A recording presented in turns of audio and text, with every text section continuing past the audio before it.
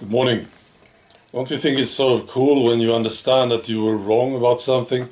This happened to me this morning. It's about what's going on in the UK. I was so wrong about this, see. My idea, more or less, was something like this. People in the UK were very, very angry because of uncontrolled mass immigration. It's been going on for a long, long time. And many of these people who came to the UK, they don't even like the citizens of the UK. You know? And what you are doing, they don't like you. you know? And they want their own rules. And then bad things happen too. And this thing happened in Southport recently. Three little girls were killed. And that's why people are angry. You know, that was my idea. I was so wrong about this. And I want to share this with you. See, I read this article. I want to encourage you to join me on this trip.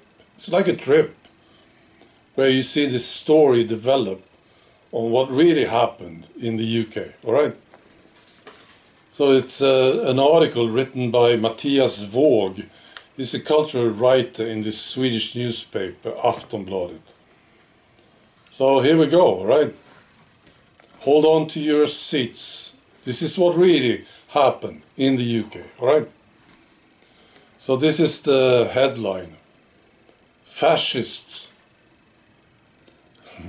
Fascist Russia and Musk are driving the riots. That's right, that's the headline. He talks about Tommy Robinson, Tommy is back as the biggest influencer of the extreme right. And he talks about what happened in Southport. This ter terrible thing happens in the British city of Southport. A teenager attacks a dance class and stabs 11, 11 children, three of whom die. A teenager. It will be the spark that triggers a week of far-right riots, mainly directed at mosques and refugee centers. And then here comes Elon Musk. See? Yeah, you remember the headline? Fascists, Russia and Musk are driving the riots. So here comes Elon uh, now the civil war begins, writes Elon Musk on X. And it's on X that it spreads. A whole machine of hatred is started in a few hours. And then Russia, too.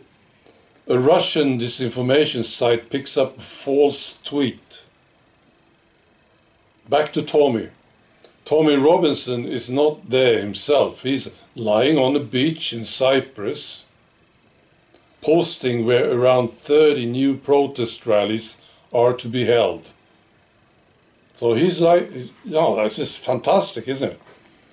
Tommy Robinson lying on the beach in Cyprus, like a conductor, like a fascist extreme right conductor, you know, telling people what to do in the UK.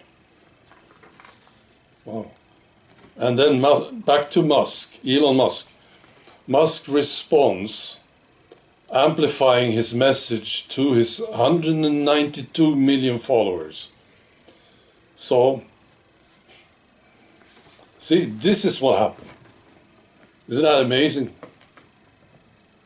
Now, seriously, I think it's absolutely fa fascinating. This is like my new hobby now reading stuff from these left-wing guys, trying to get into their world, the way they think, you see. Yeah, I think it's fantastic.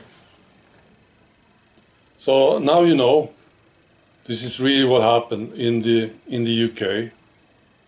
It's nothing to do with the citizens being angry, no, nothing. Ordinary citizens, people with common sense, people, you know, ordinary, normal people. It's nothing to do with them being angry. No, no. This is about fascists, Russia, in, and Elon Musk. There you go. You're welcome. Be good.